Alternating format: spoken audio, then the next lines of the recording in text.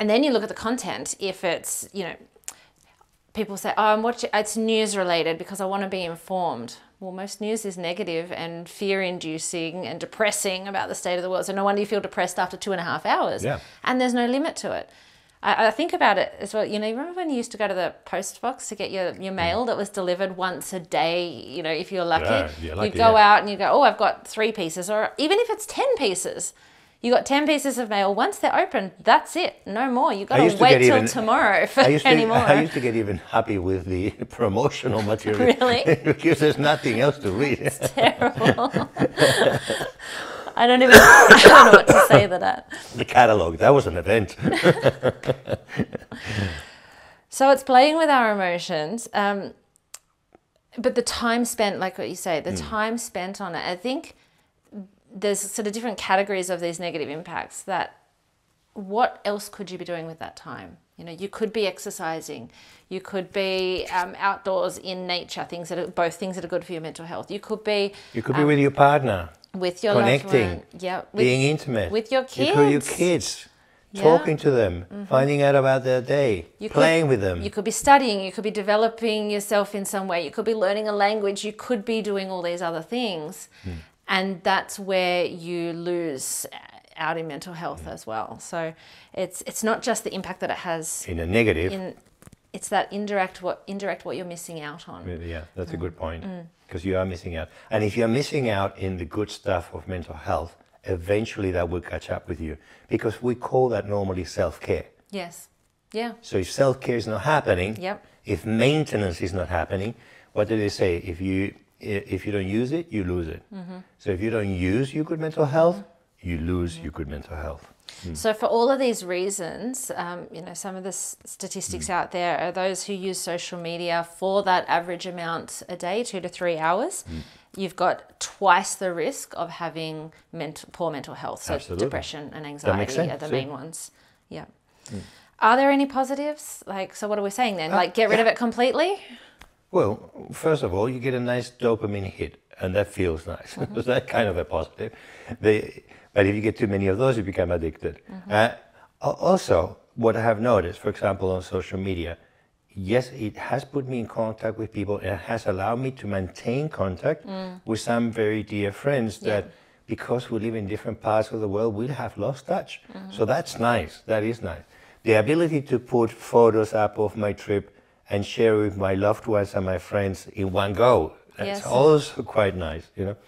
Um, so there are, there are benefits. It's entertaining. That's also benefit. There's also there are certain sort of apps and resources and things out Yeah. there that can be helpful for people. I mean, there's even therapy apps Mm. out there, not all created equal, you know. Well, we use we use our phones quite a, a lot to be able to work remotely, um, check emails, uh, check messages, uh, which before we couldn't do that. We had to be receiving the mail, for example, or emails. Yeah. So I So think definitely there are some benefits. and we don't want to lose those. I also think that it's simply unrealistic to suggest to people like just get rid of your phone No. completely or don't, you know, have social media. Very Although tempting sometimes, though. Very We tempting. all know people who don't have social media and, you know, they seem to be fine, normal human beings. Mm. But in this day and age, with it so pervasive, I think it's difficult to say don't use it at all. Um, it, I think it's got to be about setting those realistic limits around it, putting some restrictions into it. You know, whatever works for you, whether it's you know a certain number of hours a day, whether it's a day of the week that's technology free. Um, making sure that certain like meal times are sacred and we don't have it at the table like so Leave your phone behind sometimes as a family. Mm-hmm. And what would happen if you go, went to the beach for half a day and you didn't take a phone? Mm-hmm. Well, not a single one. That would feel terrifying, wouldn't it? But Well, it's not going to get that was- stolen while you're in the that water. was life before. That's how we used to go to the beach. There was no phones. Yeah. There, nobody was freaking out just in case somebody needs to call me. Mm-hmm. So we have lost that ability. That used to be Mm. a strength. what we're saying is that we don't need to get rid of the stupid phone. Uh, what we need to do is give it the importance that it deserves, and also know when to make sure that it doesn't creep in our lives. So one of the things that I, we said in the beginning that we have done is come up with one hour that is dedicated, Yeah. completely de- dedicated to each other. No kids, No, no TV. This is completely about each other every day. Mm. Why every day? Because we're married, we love each other, we enjoy each other's company. Why wouldn't it be every day? You know. Um, can we get more time with each other? Yes, throughout the day we can get more time with each other. It's not limited to one hour, but at least having that hour guarantees Yeah. that regardless of how busy we are, Yeah. we're gonna come together, which Yeah. I love. Coming together, I love every day. You know. And I Um, think that's important. You know, couples, we live busy lives. There's so much to do with kids and work, etc. It's so important because I'm seeing so many couples really struggling Yeah. With their relationships. I mean, the levels of separation and divorce now are higher than ever before. This is one part of it that I think is underestimated how big an impact it has. And if you want a, is a 100% guarantee that you are going to become depressed, keep keep at mm. neglecting your relationship. You will be 100% guaranteed. Relationships are a, guaranteed one day. They're a huge part of our mental health and well-being. huge part, Massive, huge part, Yeah. a huge part of suicide, huge part of anxiety. Mm-hmm. When when we're not connected with, with another human being at a deep, intimate level, we suffer. Mm. We suffer. Mm-hmm.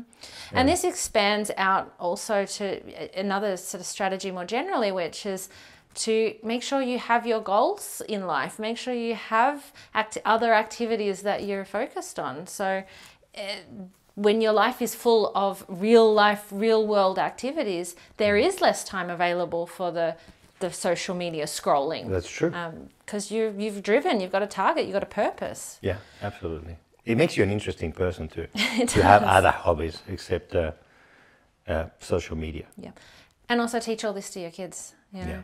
they need they're moving into a world that we don't know what it's going to look like. So starting off with some awareness around how how it works, how the algorithms work, you know, if you notice some of these things happening, you know, they're not it's not a surprise. It's we need to be more savvy around this. But that alone is not enough. It then has to be the action. And for kids, you And- have a right to put uh, restrictions in as a parent. They may I- need to be weaned off. it may need to be a gradual Yeah. weaning. But Yeah, hundred percent correct. But I think more important than teaching this to your kids is role model this to your kids. Because if you're telling your kids don't be on the phone. And you're on the I'm guilty as charged. Yeah. Yep. If I'm telling my kids don't be on the phone, but if at every minute that kid sees me on the phone, what do you think they're gonna do? yeah. they're going to think the phone is the most important thing. Mm-hmm. So let's role model. Mm. Don't forget, it's easy to tell other people, yes, we, you, we should be doing this, but the real masters are the ones that do it.